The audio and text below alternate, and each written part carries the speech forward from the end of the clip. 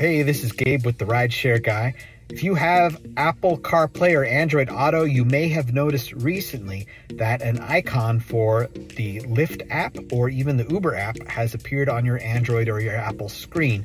And you're probably wondering, does it work? How do I use it? What do I do? Well, hang on, you're gonna find out. Just update your Lyft app and connect it to your CarPlay and it should work. But all it's gonna do is show you navigation. It's just gonna navigate for you. You're not gonna be able to accept trips or do any other functionality through the app, which is a bummer. For Android, I couldn't get my Android to work. And as far as Uber goes, there's the Uber icon for Apple CarPlay, but it just shows you a map and it doesn't really do anything at all. So that's what we know about this so far. Let us know about your own experiences down below in the comments. Make sure you like and subscribe and check us out for more content.